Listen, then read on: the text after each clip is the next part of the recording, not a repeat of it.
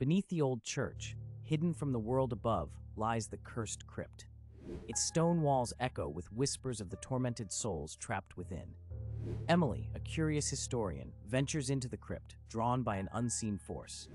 As she descends the narrow stairs, a cold chill grips her, and the whispers grow louder, pleading for release.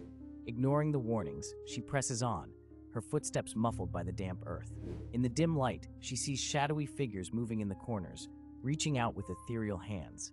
Panic sets in as she realizes the truth of the crypt's curse. The souls within hunger for freedom, and they will stop at nothing to claim it. With each step, the air grows heavier, oppressive with despair. Just as Emily reaches the heart of the crypt, the whispers coalesce into a chilling voice, warning her of the price of trespass. In a moment of terror, she feels icy fingers closing around her, pulling her into the darkness. The crypt claims another victim, its curse perpetuated for eternity.